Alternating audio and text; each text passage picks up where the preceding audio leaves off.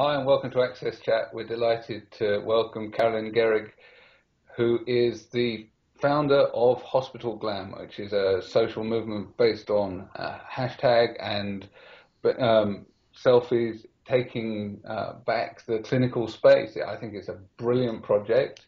I absolutely fell in love with the concept when I saw the photos. Karolyn, you've recently spoken at Stanford's MedX, so welcome. Uh, can you tell us a little bit more about what inspired you and, and, and uh, what brought about this fantastic project? Sure. Um, uh, so I was diagnosed with Ehlers-Danlos syndrome in 2003, and then around 2006, I got involved with um, the New York City uh, EDS group, uh, and then we changed the name to EDS NYC, and um, I uh, worked with them until 2010, um, at which point I moved to Los Angeles. And then uh, I've been kicking around Los Angeles for a couple of years, and I have gotten sicker in that time. Um, Ehlers-Danlos syndrome is a progressive uh, connective tissue disorder, um, and it's progressive because time moves forward and uh, ravages us all in sort of, uh, you know, the ways it ravages even healthy people. Um, so uh, in the last year or so, I had gotten sicker, um, and I knew that I would be in doctors' offices more often than uh, I had been in the past. And um, usually I go to the doctors alone. Um, so I wanted to show that I could um, be in a doctor's office and uh, kind of be there for myself and um, support myself there in that way, still represent myself on social media um, as like having a normal life because this is a normal life. It's just a different kind of normal. There are so many people who are sick and where this is a part of our daily lives. Um, and I, I don't think it's any less valid than um, I don't know, people who have children or people who uh, have normal office jobs or anything like that, you know? Um, so while other people are taking selfies at Starbucks, I started taking self portraits in the doctor's offices. Um, initially, I had taken some point of view shots, but then I realized that that asked the viewer of these um, photos to look through my eyes and when uh, an able-bodied person looks um, looks at a hospital setting like through someone's eyes, they just think injury and they think pain and they think illness, and there's no way to normalize it for them, and there's no way for them to think like, oh, okay, well, this is a regular routine, and this is just something that they are going through, um, and this is okay for this other person. And I wanted to force a viewpoint, and I wanted them to look at me and realize that um, this was a part of my life and that this is this is okay for me. Or I mean, not okay, okay. I'm still sick and I'm still dealing with stuff, but as okay as it's going to be. Um, I also, at the same time, uh, ha- I'm a feminist and I have an ongoing issue with um, the way women are positioned in media. Um, and so uh, I was looking at a lot of ads and a lot of um, the magazines in waiting rooms and ads on billboards, etc. And I would see these images of women uh, with their bodies positioned in kind of like sick ways, where um, their shoulders were slumped forwards or they were slumped off to the sides, and they just looked sick. And I'm not talking about body frame. I'm not talking about um, low weights. I'm not talking about that. I'm just talking purely about positioning. Um, and I thought how strange it was that these are the same images that were being used to sell us good health and wellness and like these um, these ideas that like health and wellness would were sexy and would bring you um, were, like were equated with wealth. Um, so I thought that by using my actual disabled body and posing it in similar ways um, and in reinserting it in a clinical environment, that might be interesting. Um, so I brought that in as well and started posting those online. And eventually, uh, after like eight or nine months of those, I aggregated them onto a single website. I had been posting them on Twitter and Instagram and Facebook for in the interim period.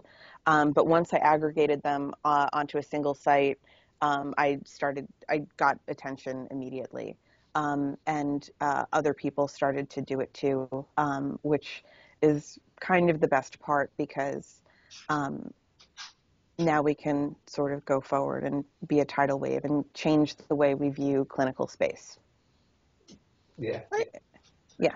So, I, and I actually came came across your work through someone else posting on, on the hashtag.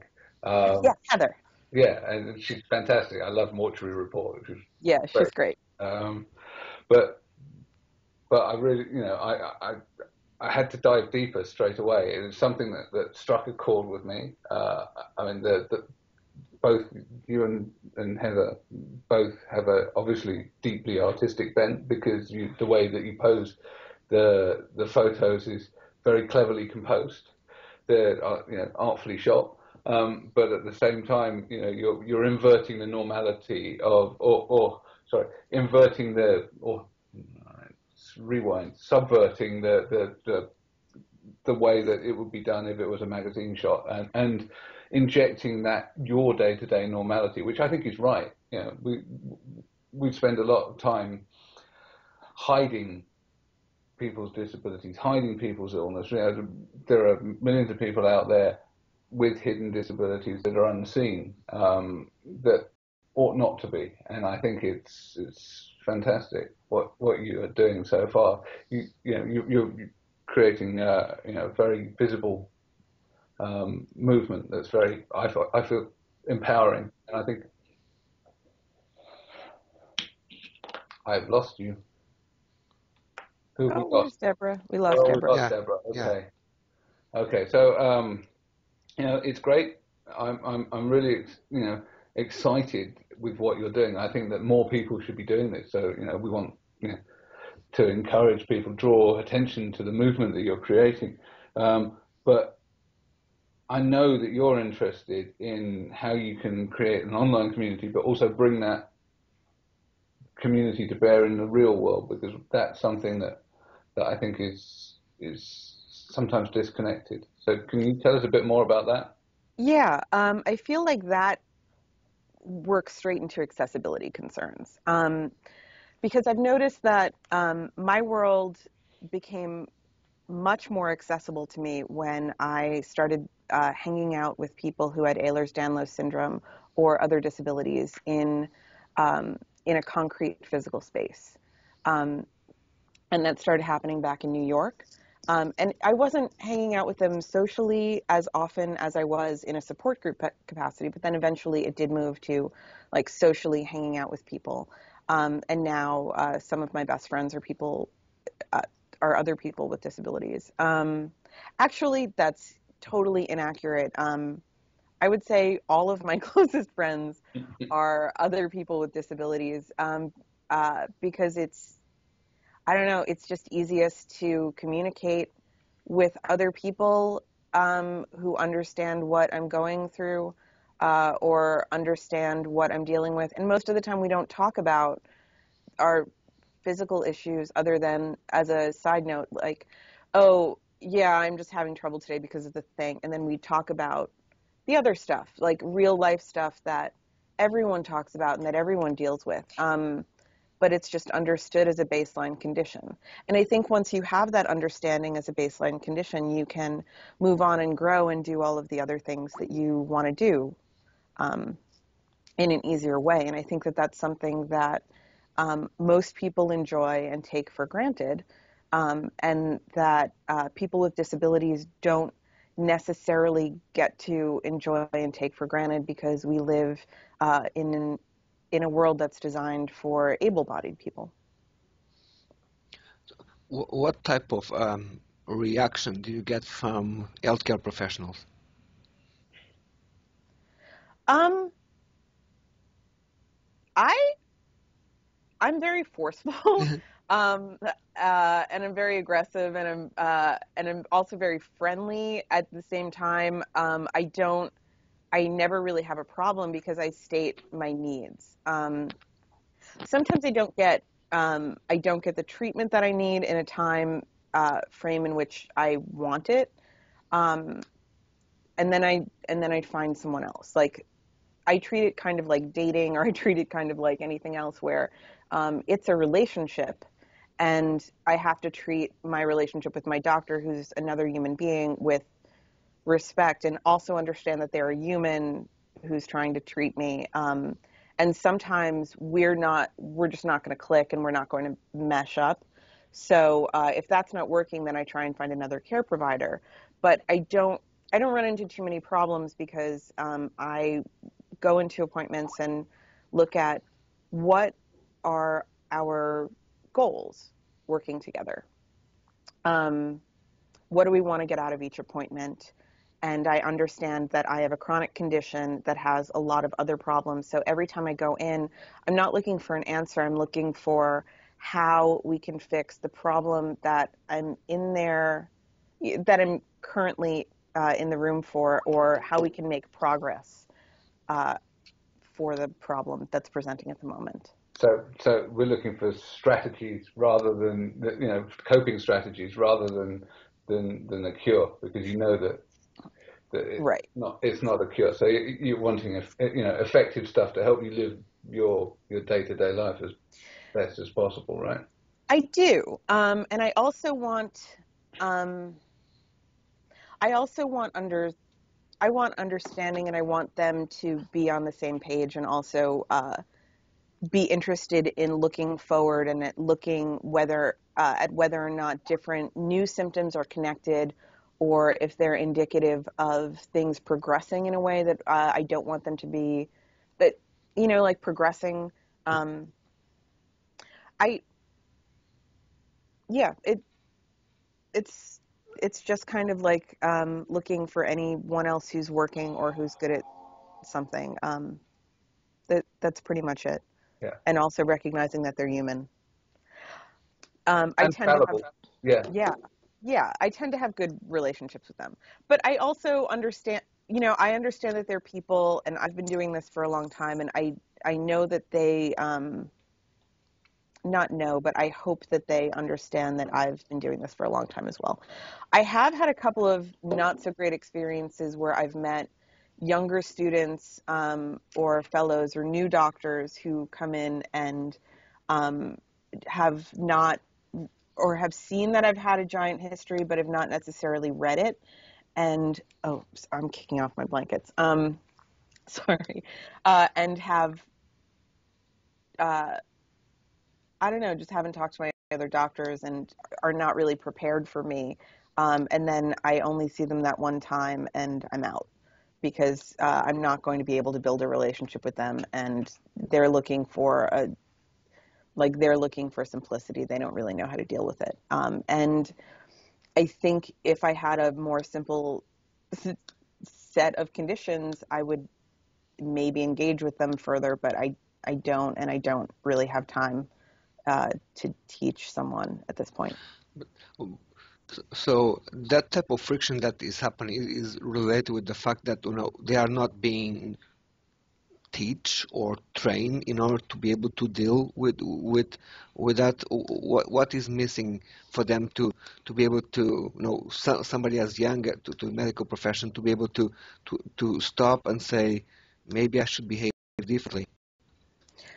Well I think they're just overwhelmed at um, having a patient with a large set of diagnoses. And then um, I think maybe they go into the room with the assumption that um, I want everything cured or everything stopped, and they don't give me credit as a patient uh, at all for knowing a- anything really. Um, which, I, which so. I, have got friends with long-term chronic illness as well, and and where they have illnesses that are quite rare, it's quite often that they're a much greater expert than the doctors that they're seeing. Uh, yeah. They can't prescribe for themselves. So a lot of the time, yeah, it, it requires some recognition on on the part of the medical professionals that that you know yourself and your conditions far better because you're the one living through it. You're the one dealing with the the conditions. You understand what's happening in your own body far better. Right. I, I think it's unfortunate that um, I, for some of the doctors, I think it's unfortunate that I know that and don't question that. I think for some of the younger doctors, yeah. that's unfortunate. But um, I don't know. Maybe it's a learning experience. Maybe not. Um, I don't go back to them. No, and I think everyone needs to to self advocate, uh, self advocate. Uh, it's yeah. something that I'm I'm passionate about because if we don't speak up for ourselves, then people will speak on our behalf and they'll make assumptions that are incorrect.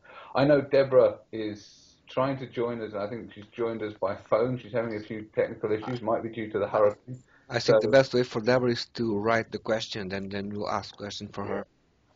Okay. Can y'all hear me oh, if I talk? Yes. Okay. Yes. All right. Cool. Okay. All right. Good. So you know, I I think I applaud what you're doing. I I think it's so important, and and I didn't know about it, and so now that I know, uh, I want to help. So, but I have a I have a, a, a woman that works with me. Her name is Rosemary Musachio, and Rosemary was born with cerebral palsy, and Rosemary cannot communicate in the traditional way, and so she um, she she has said to me that when she lies down all she can do is blink her eyes. That's you know the the amount of control she has over her body. But she is this brilliant beautiful woman that just she's a master's degree. She has accomplished a lot in her lifetime. But when she has had to go multiple times in the hospital she's treated like she's a vegetable. And she she's just and she's often treated that way in society too when she's traveling with her mother. People they don't see her and it's it's not it's almost like they're they're afraid of her. And and so I think the work you're doing is so brilliant because recently walking some illness path with my mother it's amazing how they don't see her as a person, they see her as a symptom. And so, and and they, it seems like she loses all of her civil rights. Uh, we recently went into a doctor's office because she's bleeding behind her eyes, and I was just so shocked at the way they treated her and everybody around her. And I, I could tell they're they're they're diligent, loving, amazing people, but they don't see her as an entire person. They see the symptom um, or or the condition, and so I. Um, gosh, the work you're doing is so important. It's just so important because if we can see you as an individual, as a person, um, you know, and, and I thought it was such a powerful thing that you said earlier. Um, your life is normal you know, who's to say my life is more normal than your life? Your life is normal. It's your life. So I, I just think I, I almost I don't have a question. I'm just I'm I'm just uh, I'm just really really appreciative of the work you're doing because it, it this is what we need to really change people's perspective on what does it mean to be a human being. So I, I really applaud you, and I'm so glad Neil invited you to be on AXSChat. But we want to help. We, I know all three of us are very involved in social media, but I'm very impressed with what you're doing. Thank you. Um, I think uh, doing Hospital Glam, like the actual act of it, has been extremely powerful for me from day one. I mean, from before it became a big thing online, just the act of standing in the room and taking the photographs of myself um, felt big um, because putting I I use a self timer on my phone and I set it down to repeat at 10 second intervals, and then um, I kind of set up the frame, kind of like the same way that I'm holding my um, my uh, air, my air up here, and you can see like the boundaries here, so you can see where I can move in here. Um, I would set up a frame similar to that and I would know this is how much space I have and then this is my space too.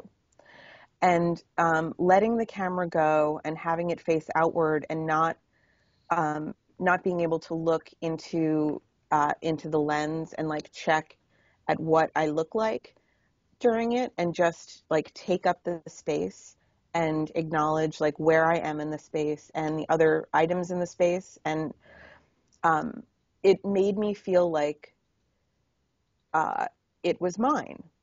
Um, it also made me more aware of my body and it made me able to think of like okay these are the things that i want to discuss during this appointment and it made me feel a little bit more powerful and then my doctor would walk in and i would either grab the i would either just grab my phone and put it down or i mean now i don't bother because my my doctors know so they'll either hand it to me if i'm not feeling well or you know just like laugh about it for a second and then the appointment goes on. But then I would be ready and I'd be ready to go and talking about it and I'd feel like I was on their level because I'd feel like the space was mine too. And like it was my workspace because I had been working in that space for a couple of minutes. Um, and that's like that's a powerful thing because those rooms are designed for they're they're designed for us to be in too, but we're not we're not really in them. Um, like we move through them and like we sit in a corner and we go like okay are we allowed to touch that? Oh, oh i really want to blow my nose and there's a tissue box over there. Is it okay if i do that? And i mean it's it's there to be used yes. but we like but it's not for us. So just taking up that space on our own it feels good i don't know it, it just makes a really big difference yeah so uh, it's a powerful act of claiming that space. I think it's, yeah. it's really ob- obviously important.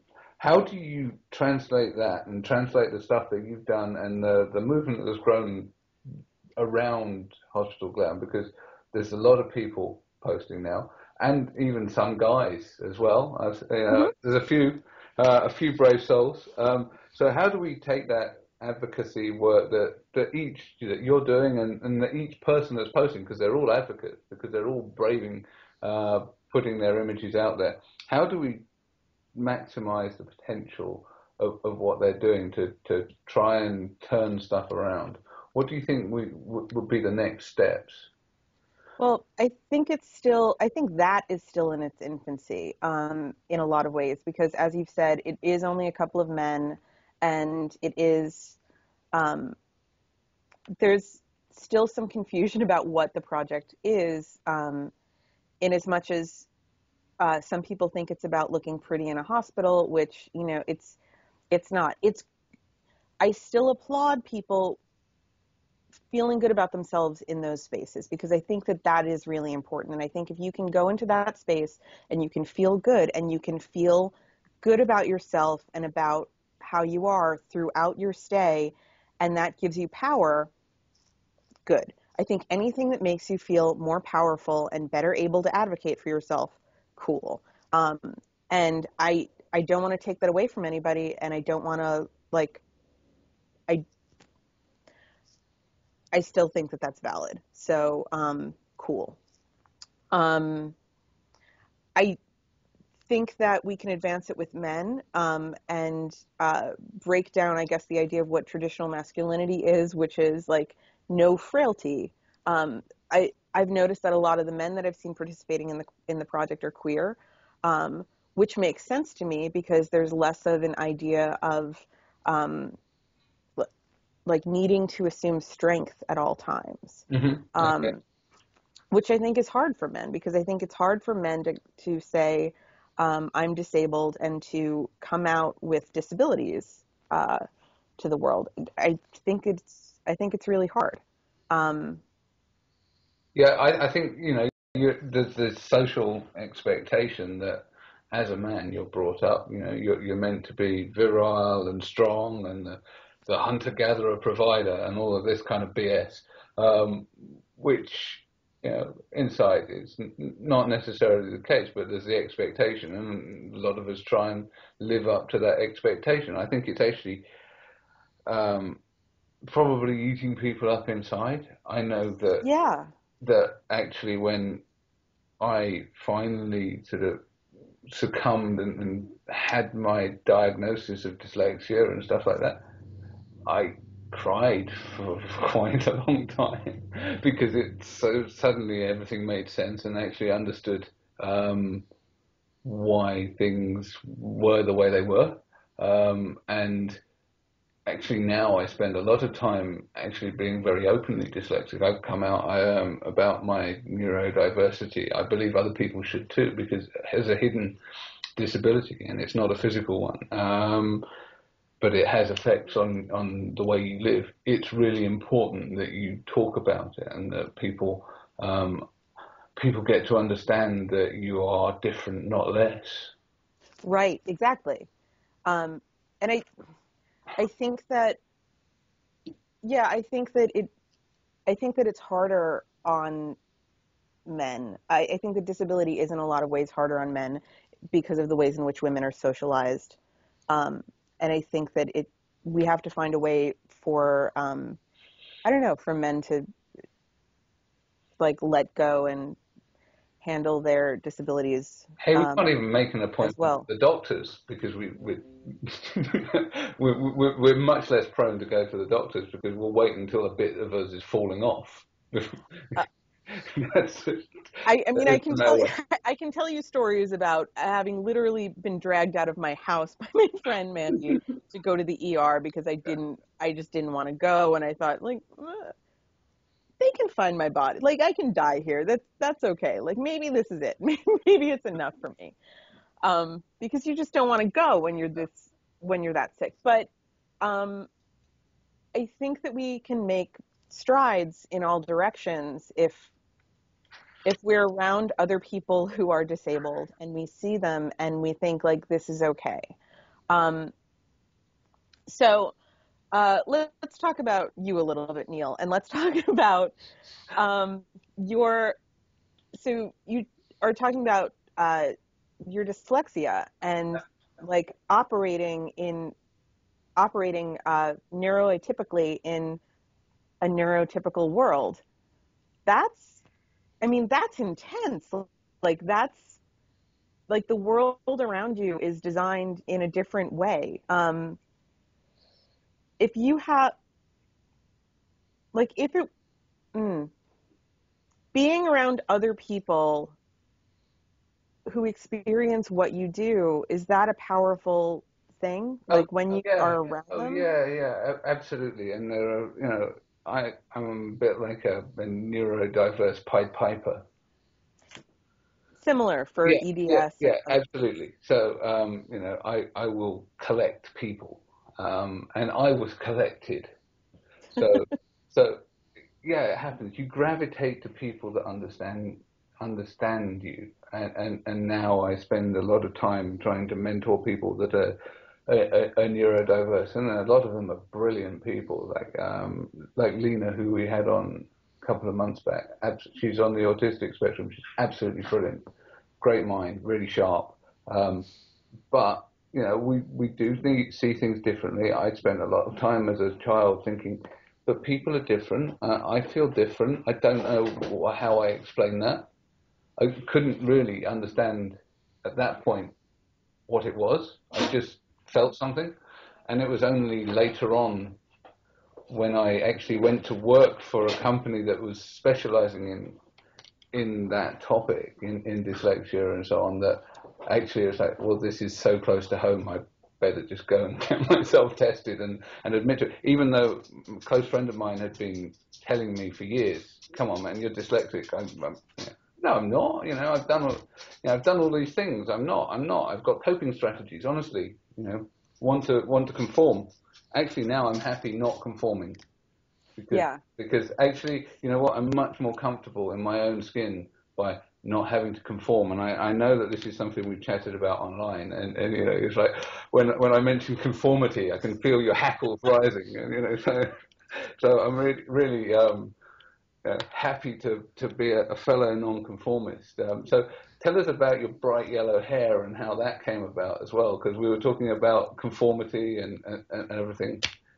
Oh yeah. Um, so uh, around when um, when I started going to the doctors a lot more often, um, I was uh, being diagnosed with a brain tumor, um, which is not something that I talk about that much on the internet for a couple of reasons. One of them is that um, it was very difficult for me to access in-person support um, at the time. Uh, um, I experienced uh, just some problems with my family, and um, I had a very, I had one of my best friends uh, who was also a sick person just ditched me, just flat out ditched me. So that was kind of heartbreaking. Um, and so I decided uh, not to talk about it that openly because um, whenever whenever I'm able to get rid of this thing, um, I'm still going to be sick. I'm still going to have Ehlers-Danlos syndrome, yeah. and um, I'm I'm always going to be sick, and that's always going to get worse. So I don't have um, a traditional like, oh, there's a tumor. Oh, um, let's get her better drive. Like there's none of that like hopefulness. There's none of that arc. So it's been a little bit difficult to handle in that respect. Um, but around that time, um, I decided, you know what, let me just dye my hair blonde because it was something that I always wanted to do. I've been a redhead uh, since childhood. Um, and so I dyed it uh, platinum blonde, and it's been like shades of platinum blonde with some neon yellow in there. Sometimes I dump in different colors. Um, because I figured that um, it would fall out, and so it didn't matter if it was unhealthy.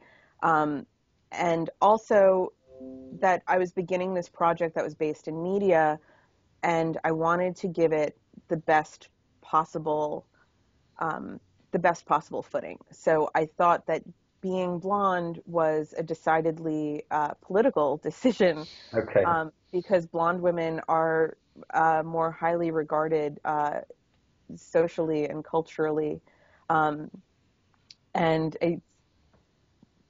for whatever reason. And I thought that conforming as closely to a conventional standard of beauty would actually help push um, push disabilities closer to the center of a narrative, um, which I don't know. I mean, the pictures did get some attention, so. Oh yeah. That's so that's so, so worked in that regard. Yeah. Okay. Um, I don't know if they would have. I mean, maybe it would have done the same as a redhead, but um, it doesn't. You know, who knows? Okay. And now I'm blonde. When it when it's in black and white, obviously you've got the you've got the color contrast as well. So I know you've. Right. Yeah. when you're taking the moody shots, yeah, it works well. Um, I think we're closing towards uh, the end of our half hour, so it's gone really quick and it's been brilliant. I'm really looking forward to our Twitter chat. Oh, but even um, so, for anybody who's listening, though, even if you if you have the opportunity to go to an in-person support group, even if you think it's going to be horrible or if you think that you're not going to get along with anyone, just do it because um, time moves forward and you really have no idea what's going to happen or whether or, it, or not it's going to be horrible. And then there are going to be chances for other ones. So just do it. Just start meeting other people in person because you will learn other things from physically being in the room with other people, whether it's the way that someone glances at a clock or the way that they hold their hands or something else. You will learn something. It doesn't have to be about gaining emotional support. Just look at it as a learning endeavor and you will get something out of it regardless. Yeah. Um, and then that's a good first step. Yeah, no, I, I, I agree. Um, I, I personally have support groups and, and they're informal, but my father, who's also um, got Parkinson's and a brain tumor, um, goes to a support group and actually it's made a huge difference. Not so much in terms of the, the support, but actually he's going out and doing stuff with a new group of friends as well. And I think that's that's something that's that's really important to um, that shouldn't be discounted. So once again, thank you very much, Karolyn. Uh, it's been you. great chatting with you. Thank you. Yes, thank you, Karolyn. Thank you so much for what you're doing. Thank you.